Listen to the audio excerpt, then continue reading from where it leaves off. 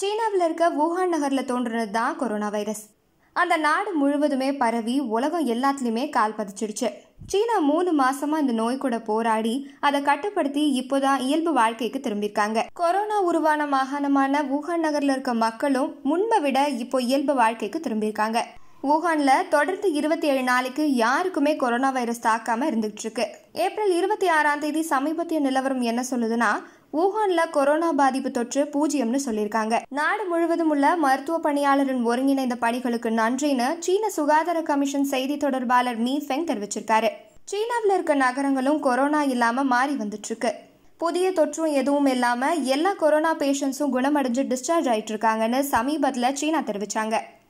இந்த நிலையில தான் அறிகுறியே இல்லாம அங்க கொரோனா மறுபடியும் பரவ தொடங்கி இருக்குன்னு மக்கள் மத்தியில பீதி ஏற்படுத்தியிருக்கு. இப்படி காய்ச்சல் இருமல் சளி தொண்டை வலின்னு எந்த அறிகுறியும் இல்லாம அங்க தொள்ளாயிரத்தி எண்பது பேருக்கு கொரோனா வைரஸ் தாக்கி இருக்கு இதனால மக்கள் கிட்ட பெரிய அச்சத்தையும் அரசுக்கு பெரிய தலைவலியையும் ஏற்படுத்தியிருக்கு. கொரோனா வைரஸ் தோன்றிய சீனாவில் புதிதா பாதிக்கப்படுறவங்களோட எண்ணிக்கையும் மெல்ல மெல்ல ஏர்முகமா இருக்கு.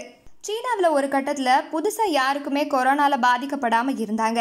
ஆனால் கடந்த ரெண்டு நாளாக பலருக்கு கொரோனா தொற்று இருக்கிறது கண்டறியப்பட்டிருக்கு. கடந்த இருபத்தி நான்கு மணி நேரத்தில் மட்டும் அங்கே தொள்ளாயிரத்தி எண்பது பேருக்கு கொரோனா இருக்குன்னு கண்டுபிடிச்சிருக்காங்க.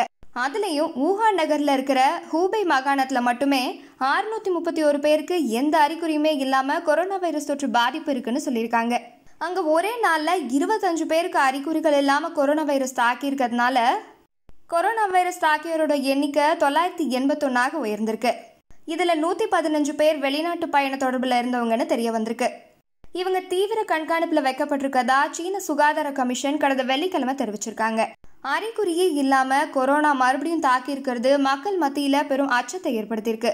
நேற்று முன்தினம் ஹூபே மாகாணத்தில் மட்டுமே கொரோனா நோயாளிகளுடன் தொடர்பில் இருந்த ரெண்டு லட்சத்தி எண்பத்தி ரெண்டாயிரத்துக்கும் மேற்பட்டவங்களை கண்டுபிடிச்சு மருத்துவ கண்காணிப்பில் வச்சிருக்காங்க.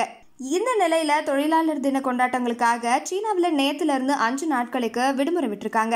இந்த நிலையில பயண கட்டுப்பாடுகள் தளர்த்தப்பட்டுள்ள நேரத்துல ஆயிரக்கணக்கானோர் அங்க கூடுவாங்கன்னு எதிர்பார்க்கப்படுது.